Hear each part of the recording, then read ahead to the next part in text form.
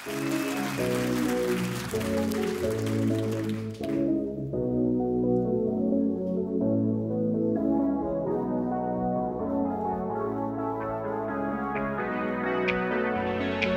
is te druk in een kamer om je aan te raken.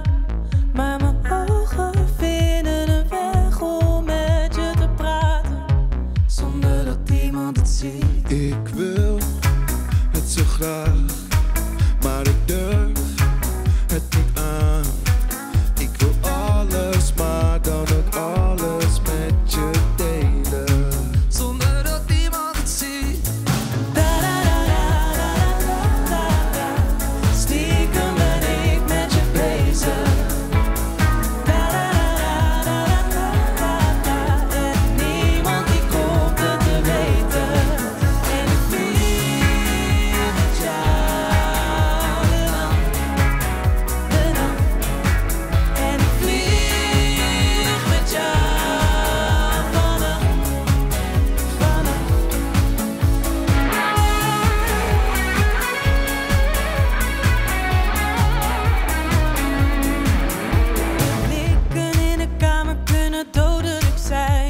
Geef je het minimale door voorzichtig te zijn. Blijf stiekem naar je speaker.